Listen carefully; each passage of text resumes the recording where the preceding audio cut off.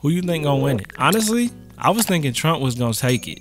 Like I was like, yo, Trump gonna take this joint. Like no doubt, hands down, Trump. But the more I'm looking at that map, bruh, I'm starting to think it might be Biden's race. Might be Biden, man. Might be Biden. I don't know. It's kind of surprising to me though that Biden would take uh, one of Trump's states and then try to flip Michigan. I mean, and then try to take uh, Wisconsin and Pennsylvania. Like, I don't think Biden gonna take Pennsylvania. Pennsylvania too much like Ohio. I'm in Ohio. It's a red state, and Pennsylvania is like the same place. So I don't know, man. I don't know. I'm what you know. So let's do a little estimate. This is the map right now, y'all. This where we at. Wisconsin almost done. It's 95%. Biden is a whole, almost a whole percent above.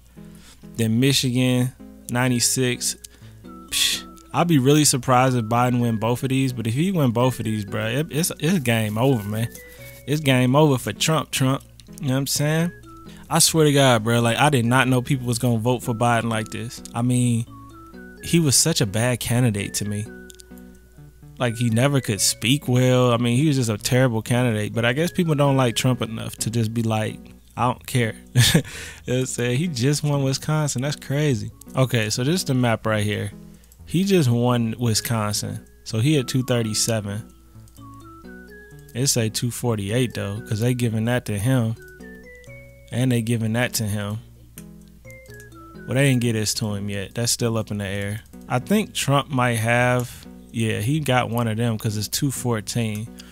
Okay, so this where we at, y'all. This where we at. 248, 214. My personal opinion, we'll see if I'm right or not, because this video will probably come out the day of the election, the day after the election. But what I'm thinking is Trump gonna take Georgia, he gonna take North Carolina, he gonna take Pittsburgh, which will put him at 265. Then it's down to Michigan and Nevada. Michigan, they have 49% Joe. Hey, make sure you subscribe and ring that bell. Biden is gonna win Michigan, bruh. He might not, but it looks like he will. And if he wins Michigan, he gonna be at 264. So close, bruh. So close. This is the most closest election I've ever seen. Um, which is really the first time I've ever seen. Oh, you know what? Trump got Alaska too, so that put him at 268. So it'll come down to Nevada. Because if Nevada blue, that's Joe Biden. Nevada red, that's Trump. Damn, that's crazy. It really depends on what Nevada do. They say it depends on what Pennsylvania and Michigan do, but like, I know Pittsburgh, I mean Pennsylvania probably gonna be red. Just because I said Ohio and Pennsylvania are like the same place, no cap. They like the same damn place. If Pennsylvania go blue, of course that's Joe Biden. But if it go red, Biden take Michigan, and Trump win Nevada, which Nevada is still really close. They got him winning though by 8,000 votes. It's only 67% in. Bro, this is a close election, man. Either way it go, it really don't. It, either way it go, it's gonna really determine who wins Nevada, bro. That's crazy. Post in the comments who y'all want to win or who you think gonna win, depending on if you want, you know, to get into it. Looking at this map, if Trump don't win Pennsylvania, or if he don't win Nevada, man, you know, honestly, Biden might win though. I don't know. If I had to bet, I wouldn't bet because this is too close to bet. But I would think Trump gonna win just because Trump's map was better in 2016.